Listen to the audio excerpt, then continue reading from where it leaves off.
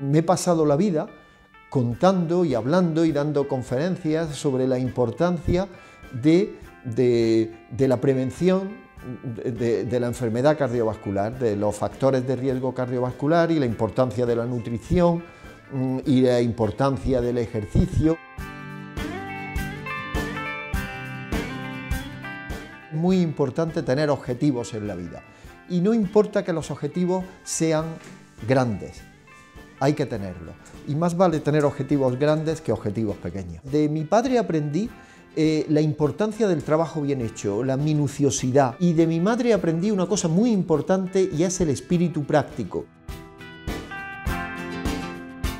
Un tonto va por un camino, el camino se acaba, el tonto sigue.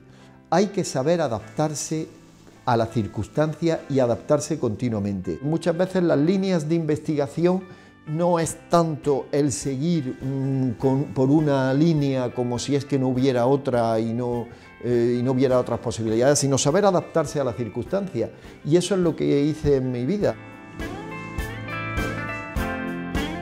Lo que me gusta es transmitir el conocimiento y transmitir mi experiencia tanto positiva como negativa, y transmitirlo de una manera absolutamente transparente. Lo que realmente me gusta a mí es enseñar. La mayor parte de mis sueños se han cumplido, ¿no? O sea, lo que yo quería ser, mm, lo, lo soy.